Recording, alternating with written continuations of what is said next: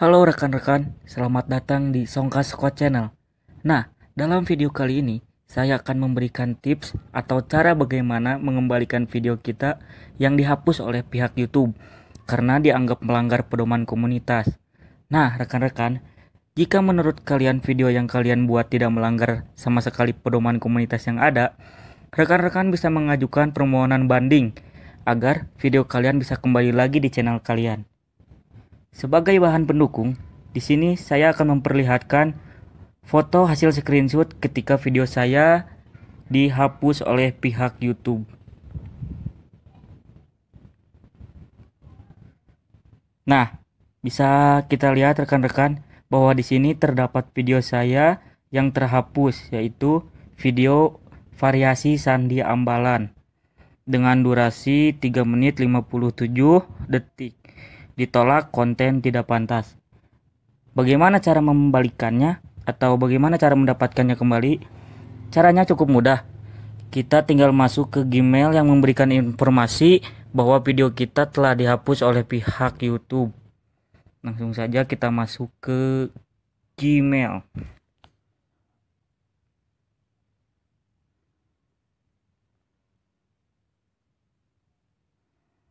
Video Anda telah dihapus dari YouTube. Nah, ini kepada Songka Scott Channel. Bisa kalian lihat sendiri di sini bahwasanya video saya ini ditinjau oleh pihak YouTube, kemudian dihapus. Bisa kalian lihat sendiri di sini bahwasanya video variasi Sandi Ambalan pas Pramuda ditanjai untuk kami tinjau. Nah ini setelah ditinjau, barulah pihak YouTube melakukan penghapusan. Kalian juga bisa membaca pedoman komunitas. Nah bagi kalian yang belum tahu apa itu pedoman komunitas, kalian bisa klik tulisan pedoman komunitas yang ada di sini. Nah kita lihat scroll ke bawah di sini ada pembatasan konten video kemudian dampak pada akun Anda, dan yang terakhir di sini cara memberikan tanggapan. Sudah saja bagi kalian yang ingin mengembalikan video kalian, kalian tinggal klik formulir yang ada di Nah, di sini. Tapi berhubung video saya ini sudah dikembalikan, jadi saya akan menggunakan yang satunya lagi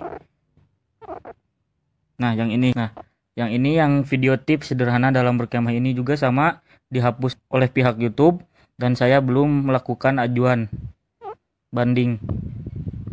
Nah, langsung aja kita ke klik formulir. Setelah muncul tampilan seperti ini, kalian tinggal isi kolom pengajuan di sini. Nah, saya sudah menyiapkannya bagaimana cara melakukan pengajuan yang sopan dan baik. Nah, ini dia. Saya menuliskan ini pada ajuan saya yang disetujui beberapa hari ke belakang. Mohon maaf sebelumnya video saya tidak bermaksud melanggar pedoman komunitas. Ini cukup simpel sebab eh, kalian tidak bisa mengajukan secara berbelat-belit dan panjang lebar. Jadi kita persingkat saja seperti ini pengajuannya. Kemudian kita salin.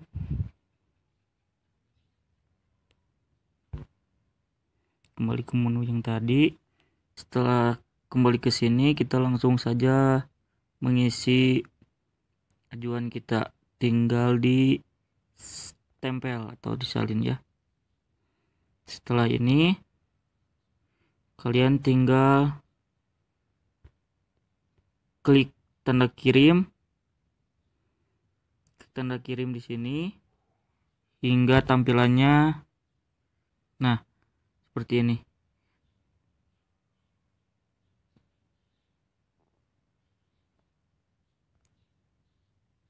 Dan bisa kita lihat bahwasanya video variasi sandi ambalan saya sudah dikembalikan dari pihak YouTube.